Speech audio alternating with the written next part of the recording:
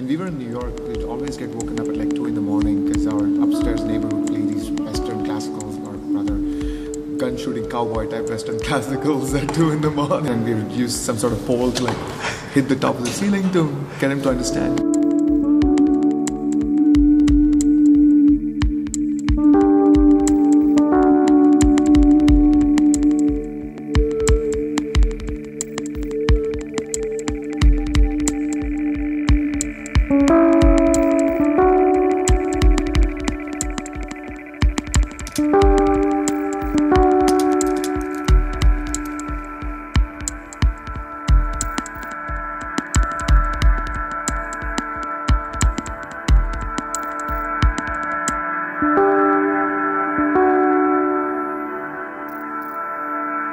Thank you.